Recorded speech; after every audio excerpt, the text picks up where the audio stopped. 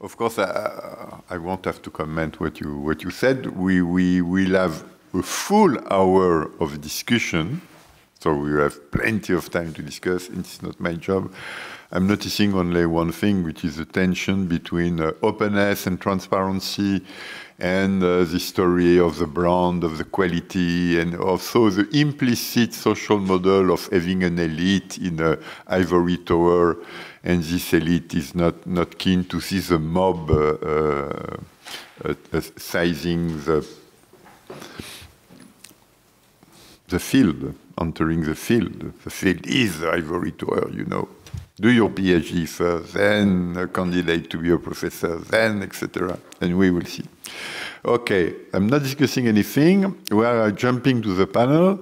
The panel will be organized around questions I will ask. We will narrow down the topic. We will narrow it down to Twitter and, and other social media.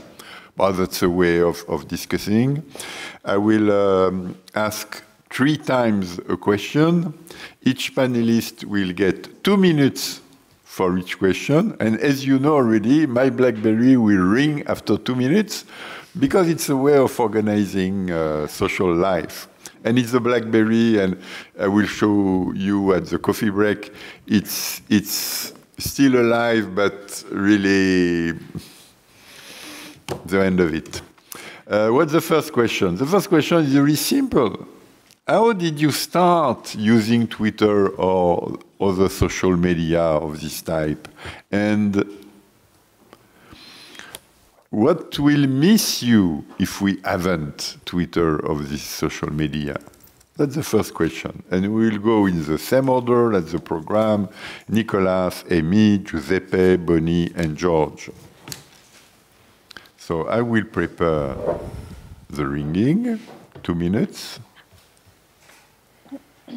Doc.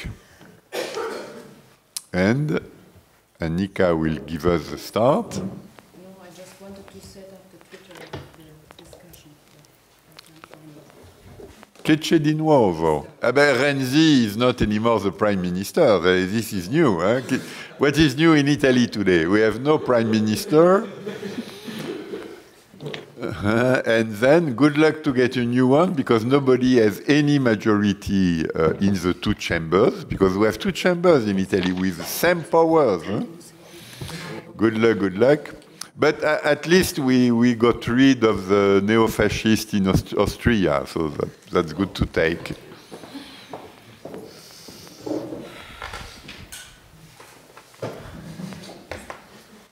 Are we ready? Yes. Yes. Okay, Nick, please go. Hello. I'm uh, have to hurry because I'm on a tight deadline here. So, what compelled? I'll speak on behalf of the Economist. What compelled um, us to join Twitter? So, I assume that basically uh, most people in this room, in fact, I'll have a show of hands, who has read any kind of article anywhere in the last 48 hours? Put your hand up. Anyone at all? Okay, keep your hand up if you read it off paper. Okay, so still, still a fair few, but the majority are moving over to digital. So as far as we're concerned, um, we think it would be uh, very neglectful if we didn't move our ideas towards the digital world. And um, from our research, what we aim for is what we call the globally progressive in the world, in the English speaking language. And we assume that there are approximately 72 million people who speak English who we consider globally curious and progressive, and those are the people we're aiming for. And we've really uh, gone in to invest on this. Um, so at the moment, we have an 11 man team 11 people constantly working on Twitter and Facebook, queuing that up because wherever you are, we want to hit you in whatever time zone you're in and give you a chance to read what we're doing and our work. Because what we've realized, I mean, not just us, is that people don't really surf the web anymore in the ways that they used to. People essentially have about four or five websites that they mingle between in the morning, and we need to be there where you are, and people will go between Twitter, Facebook, uh, maybe their favorite newspaper, which probably isn't us. Um, um, it might be another one. So we have to be on those social channels where we find you, and that's why we had to do it. And I guess one of the other reasons I'm here today is to say that um, if you're an academic, um, what because what I did is when I knew I was coming here, I uh, I went and kidnapped one of the science journalists from the science department, and I took him downstairs and bought him a coffee, and I said, "What should I tell academia about how you find the people you want to write about?" And he said, "Well, we get all our papers separately at the start of like every month. We get a huge email. Oh no, with all the papers." Should I finish my sentence? Am I allowed? Yes. And, uh, but what we really need is a secondary source for our comments because we don't want to just take the word of one researcher. So we're looking for those people who can be our secondary point of research to quote later in the article. So what it's really good for is if academics have that Twitter account or that Facebook page that acts as a kind of um, business card so we can get to know you really quickly and we can find you and uh, we can bring you to the public.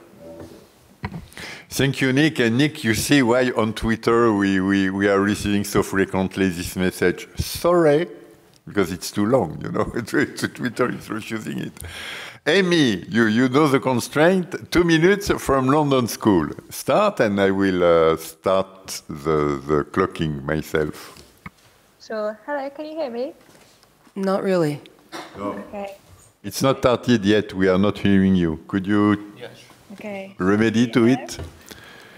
Your, your voice is too low, Amy. Okay. Uh, can you hear me now? Testing. Uh, he- he- we have the technician checking it and uh,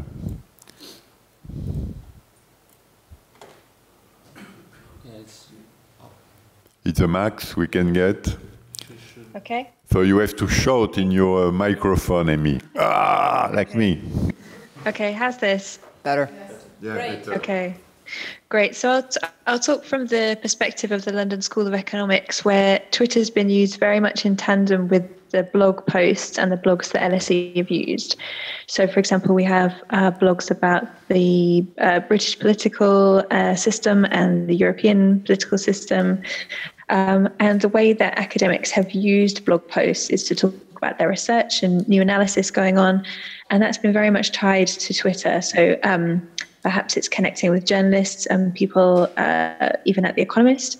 Um, perhaps it's connecting with people at think tanks and um, other areas of expertise and, and using Twitter as this online networking space, um, kind of running parallel to the way that you might have a networking space at an event or um, kind of collaborations through through those areas. So it's very much it's been a, a very it's existed in a parallel space um, alongside other activities at the school.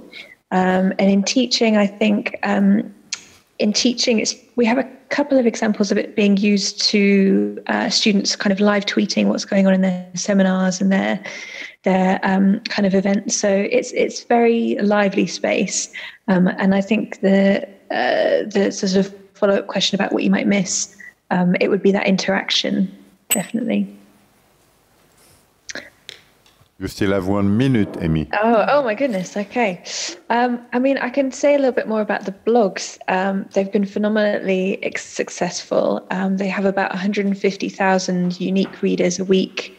Um, and the the audience that we have for those, I know there was a question earlier um, in George's presentation there about who, who academics see as their audience.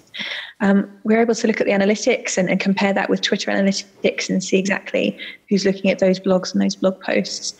Really international readership, um, people in their 20s and 30s. So, and from reader surveys as well, we know that a lot of PhD students are interested uh, in the content that's put out there. So, if you're able to it, um, sort of for other projects that people have going on, if you're able to look at the analytics and really dive in and, and really get a bit of feedback about who's looking, that's really ah, valuable. game over. Ah, but you will come back two times more, eh? Sure. pam, pam, pam. Giuseppe. So, welcome everyone.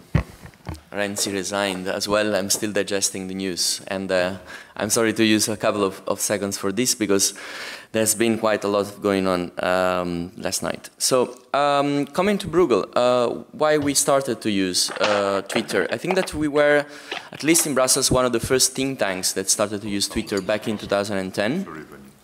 The uh, main driver was uh, probably linked to the fact that uh, being uh, a research institution who has at the core of its mission to impact on policies, Twitter was actually not only one of the places to, uh, to ensure that uh, um, our research was simply widespread, but that our research was going to participate the debate, the political debate, the policy debates that were going on on Twitter. And actually 2010 was quite an early adoption uh, to a certain extent when it comes to, to this. So we were quite pioneer on, uh, on experimenting on that. And I have to say that there are some similarities uh, also with, with the London School of Economics, because in parallel to developing our Twitter presence, there was also uh, a different kind of format of presenting the research, which was our, the development of our blog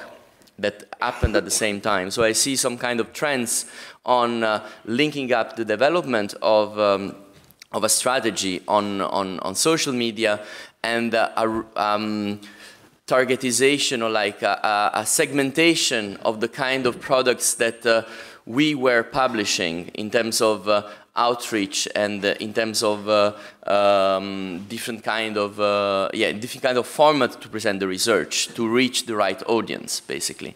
So I think this this two this combination of, of two so uh, uh, being present in the debate ensuring to reach the right audience and segment um, the kind of format uh, was key in in starting up the story. Thank you ringrazio. Uh, now, and now Bonnie, Princess of Edwards. Well, it's funny because I am uh, I am not a think tank. I am not an internationally recognized institution or a major media source. Um, I'm sort of the poster child for an individual academic using Twitter to my own great advantage for my learning, for my research, and for my career. And so I'm, I'm kind of the, the story of you can do it too. Um, I am just a person who actually, when I started using Twitter, was a blogger. I wrote about social media, I wrote about my own life, I wrote about um, identity and parenthood. And then in about 2009, I started uh, doing a little bit of MOOC research um, and went back to do my PhD and was interested in this world of network communication that was happening at, to me and that, that I had been involved in through blogs and wanted to get a sense of what this meant for academia, what this meant for what it means to know in this time.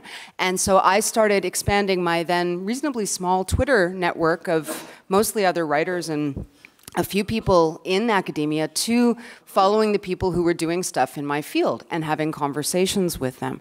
And I ended up with, um, you know, a community of collaborators. I ended up with a community from whom I got probably at least half of the reading that I did during my PhD came to me via Twitter because I had this really vibrant, robust community who were reading the stuff that, that I needed to be reading, and it was circulating so much faster than it could have through any institutional channels.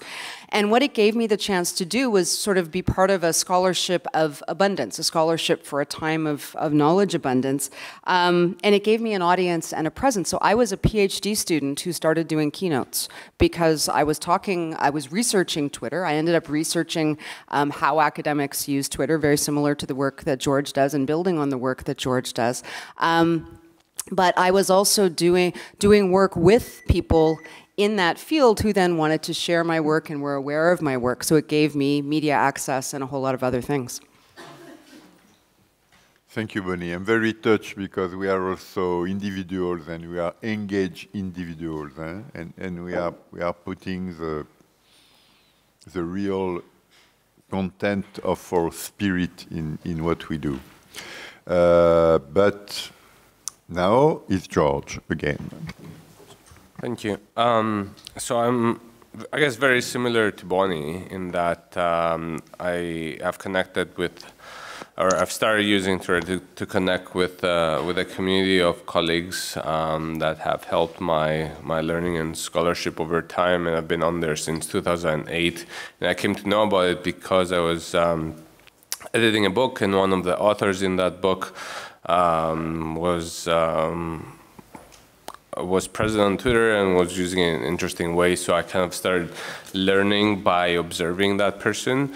Um, but what's what's really interesting to me is how my use of Twitter and other social tools has changed over time, and I, and I feel that's something that we don't talk much about, and and how um, how different aspects of the cultures that we live in impact our our use of that tool. So, for example, these days, I'm more um, you know, I guess concerned about uh, civility than I was, you know, five years ago, right? And it might be that, um, you know, areas of Twitter were uncivil back then, but I, but it wasn't visible in my timeline. But these days it is.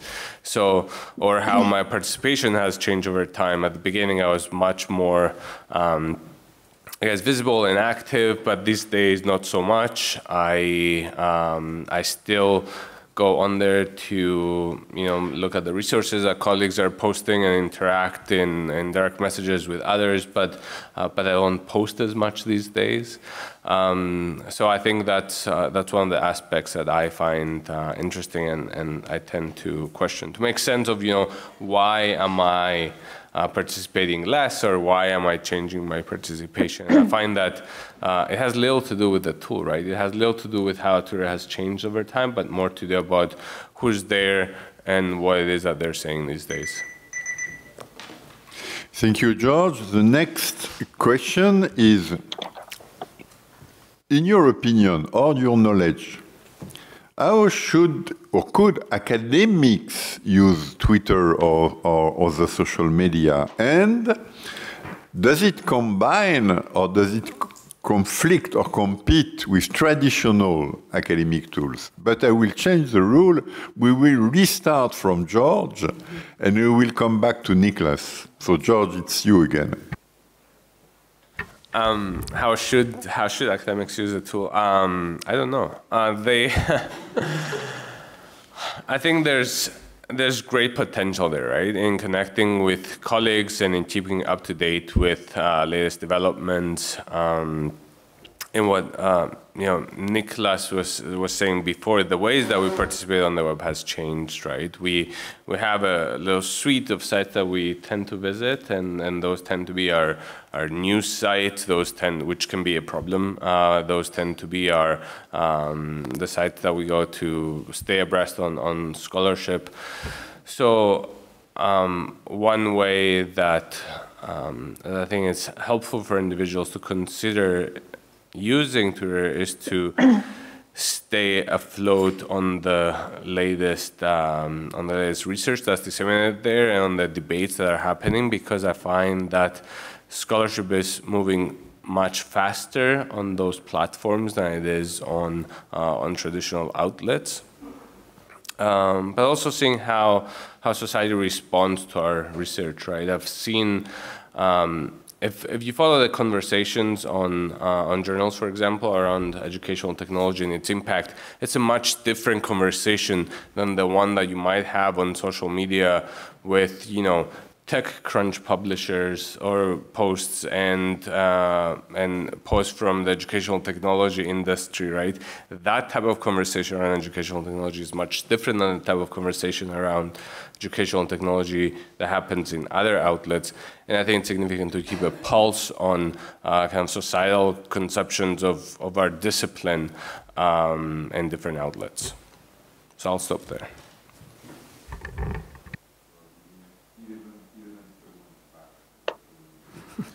I'll take that 11 seconds. I think that there is an intersection between um, traditional academic practice and networked practice, and that intersection for me is primarily in the sense that both of them are truly reputational economies. And now, the terms of how reputation is built in both tend to be different. One um, is obviously more formalized, but in my PhD research, I looked at the work of Boyer, or Boyer, um, who talked about scholarship in 1990. He did this fairly seminal piece of research on scholarship and talked about four aspects of scholarship. And there's scholarship of discovery, right, which is the eureka moment, the, the, the piece that's patentable. Um, there's scholarship of integration, scholarship of application and scholarship of teaching.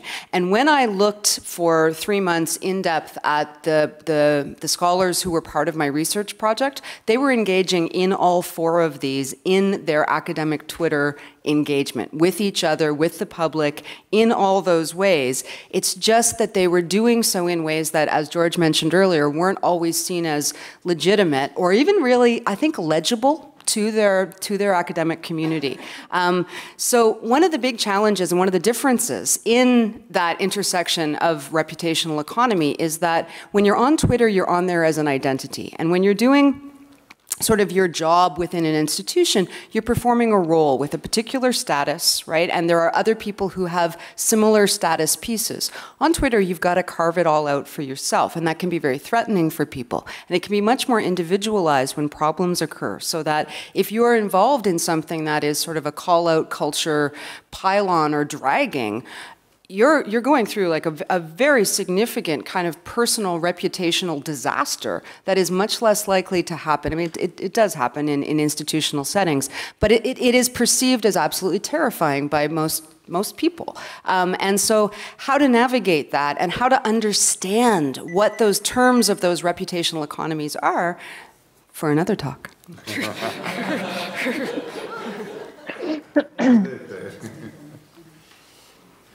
Yes.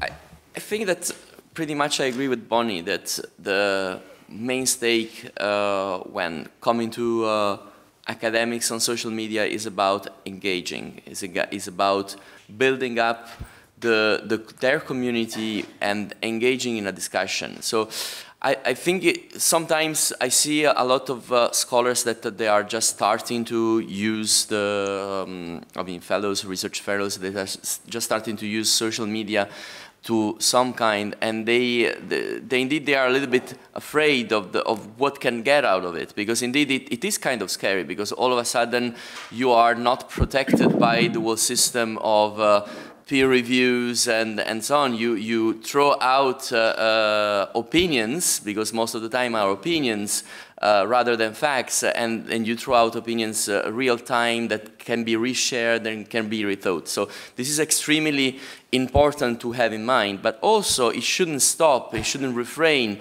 to actually be fresh, because otherwise what we risk to do, and this is what we are seeing a little bit, especially on more um, in institutional evolution of, uh, of Twitter, uh, one of the main uh, uh um, uh, gain out of it is that actually you can engage and you can engage in a fresh manner. So don't be too much afraid as well, because it's true that things are there and they are written, but things are easily forgotten unless you are really like running for presidency and you have a photo that can be compromising for, uh, for, your, uh, for your campaign or whatever it is. So I, I think that daring, it, it is quite something that is important for academics on Twitter and, uh, and then think about it. Uh, this is a, a, a place to uh, uh, regain certain freedom in order to challenge their ideas and challenge the others' ideas. Thank you.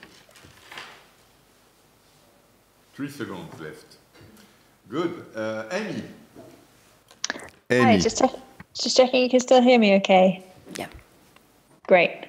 Um, so, how could or should academics use social media and Twitter? I think this is a question sort of before that you have to consider, which is about um, do they want to do it? Do they do they know why they're doing it as well? There's there's nothing worse than being told that you should be on Twitter or you should be on LinkedIn or Facebook and feeling that pressure um, when actually you, you don't quite understand the, the reasons why you might want to do it. So I think from my perspective and my role as a social media manager at a university, there's an important job to do around discussing um, case studies or evidence for why why you should consider doing this in the first place.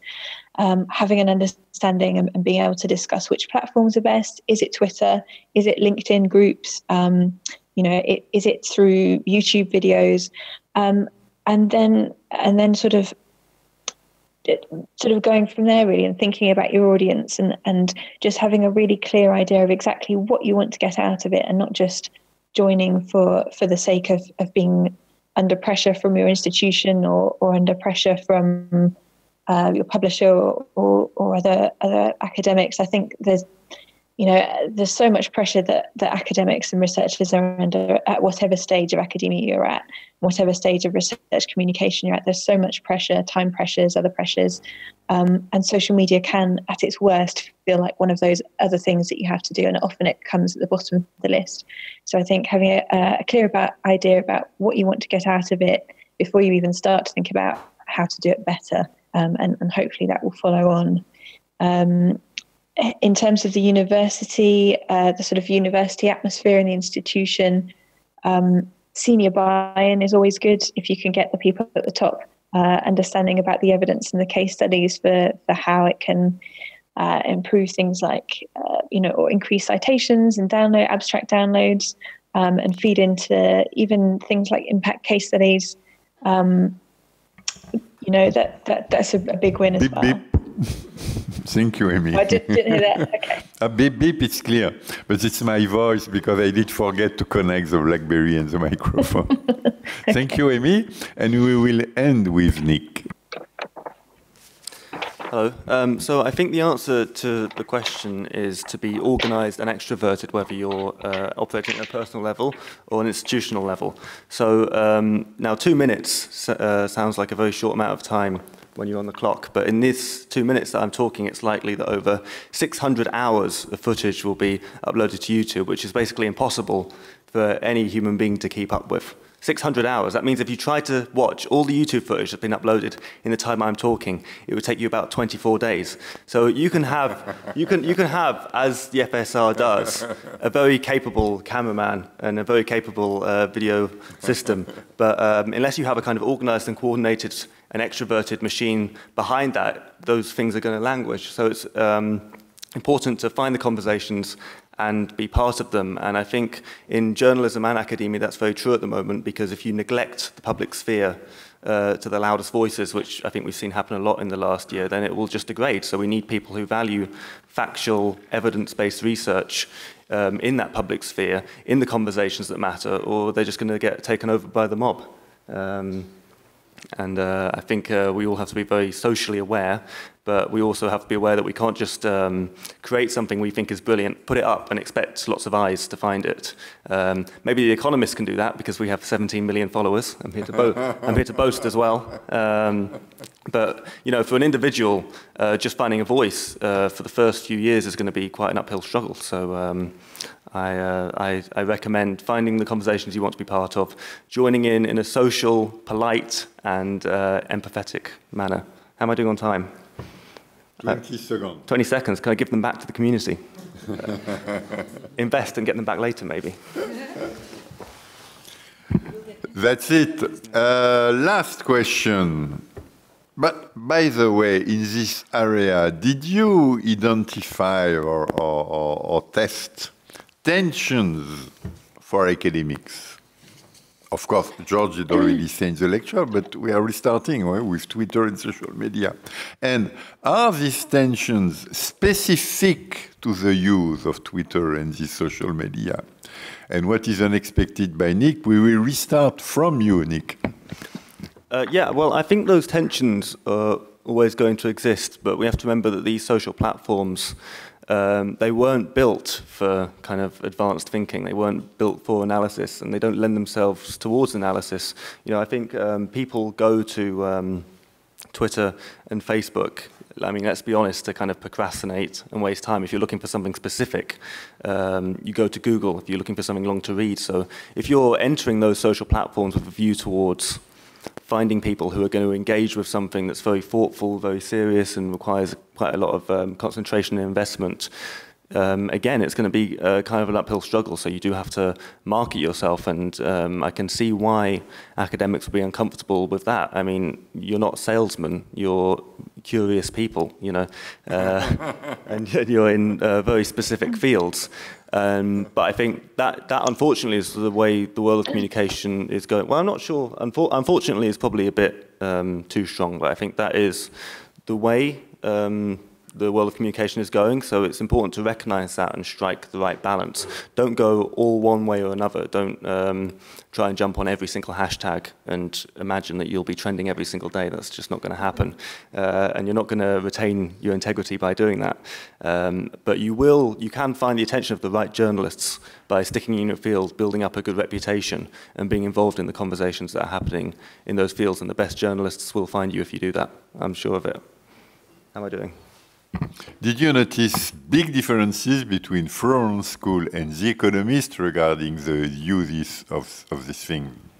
Um, no, well, I think um, I think they're both very progressive. In universities in general, it's quite hard to push these things along. If you can imagine, in journalism, there's a very sharp economic incentive to jump on the newest uh, culture of communication. You know, if nobody buys The Economist next year, um, we're all screwed very quickly.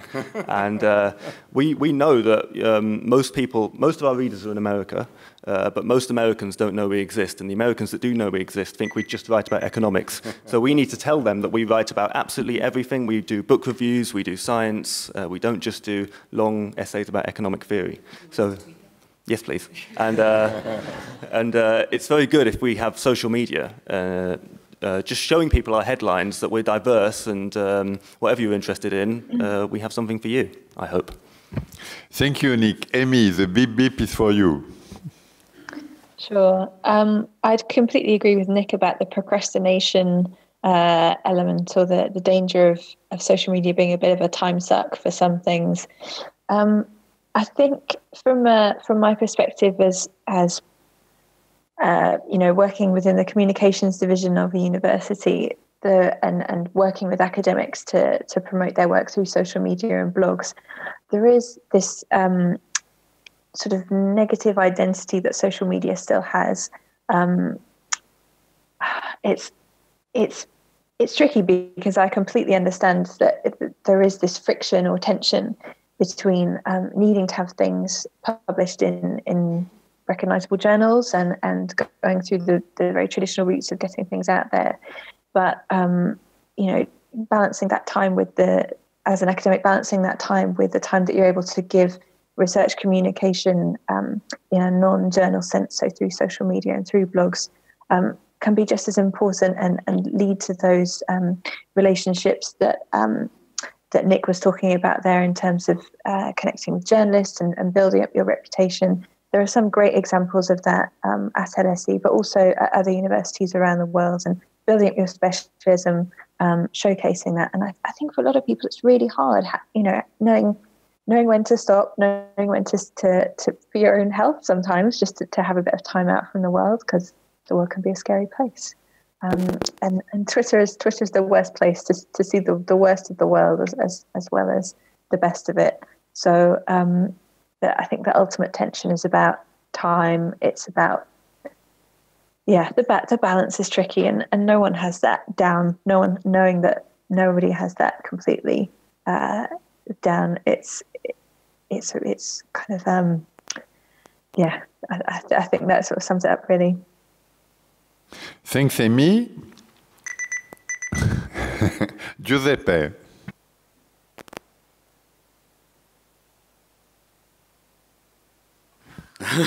Sorry, I was unprepared.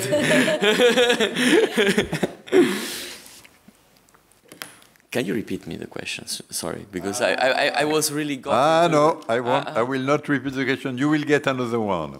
So the, the other question, the supplementary question, did you notice tensions for academics in the, the use of this uh, media? And uh, are these tensions specific to these media? That's a good question. I know. I know. Uh, every question from me is good. I know. I of know. course. Did I notice tension? Um, it depends again on the use that they make. So sometimes if they, they push it to the level of really engaging in, in controversial conversations, you, you can get tensions in, uh, in the work. Uh, I don't know if I get it uh, exactly right what you mean by tensions. I mean, if you mean by having conflicts within uh, within the, um, the, the, the, among peers on the on the net, or if you mean by tension something that is tension between being online and continuing their work uh, as academics, because that also could be a tension sometimes in the sense that uh, uh, the, the kind of profiling that academics uh, should uh, should get on Twitter should correspond more or less also to, to the profile that they would like to to have. So, uh, as I said before, it's true that uh, uh Twitter is a, a, place for opinions rather than uh, for uh, long pieces. But on the other hand, we shouldn't forget the importance of being fact-based. If you are academics, that we don't transform academics into simply opinion makers. You know, because there is also this kind of temptation, I would say, from many uh, professors all of a sudden to uh, use these media as uh, slowly, uh, chameleontically transform themselves into something else that either they think that they are journalists or either they might think that they are actually politicians or opinion makers. And uh, this, I would say, it's the, one of the biggest challenge that, uh, that we could have in, in their behavior. Thank you, Giuseppe. Bum, bum, bum. Bunny. I do think there are tensions. Um, I wanted to sort of counter something that Nicholas said in the sense that I think that networked practice, um, the, the, conversational Twitter is actually there. It's not all just about dependent on high visibility and media, although that, that definitely, that world does get opened up. But the conversational Twitter for someone like myself who works at a tiny institution on an island on the edge of North America um, and has, you know, myself and my partner are the only people in my whole town, let alone my institution, who do the work that we do. So I simply would not have the life that I do if it were not for Twitter and for that kind of long tail of being able to find the people interested in the things that you're interested in elsewhere. But the tensions are two. One, for the individual, I've been looking at Walter Ong's work from the 80s on orality and literacy. And in some ways, I think Twitter opens up back a world of orality. And Ong, Ong talks about orality as it's participatory, it's situational, it's social, it's formulaic, it's agonistic, meaning it's conflict based, and it's rhetorical, right? And Twitter re rewards that kind of engagement, whereas academia tends to be interiorized and abstract, and it allows for more innovative thought. And somewhere in navigating that performance, we all have to figure out, right? Where, where are we going to speak? Because you end up saying things that are just kind of casual throwaways, but that are read as if they're your magnum opus thesis. The bigger tension around that is the structure of money behind um, a lot of thought and rhetoric today. And so there, there are things I think we've been seeing, um, particularly in the, in the US and in the North American context, these lists come out which are funded by highly conservative right wing organizations that are now targeting individual academics whose participation on Twitter they're simply they're targeting discourses. They're talking about anti-racism. These are folks who do um, either postmodern theory or critical race theory, who are suddenly appearing on these essentially McCarthyist blacklists simply for speaking in public about the work that they do. So these tensions are not just at the individual level, but are actually sort of a societal push right now.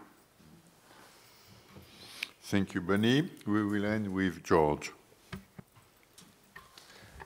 Um, so I, I, think I've made pretty clear that there, I think there are uh, lots of tensions, as have uh, the rest of my colleagues. But I wanted to touch on um, something that Nick and, and Bonnie said. Um, Nick mentioned that these tools were not built for advanced thinking.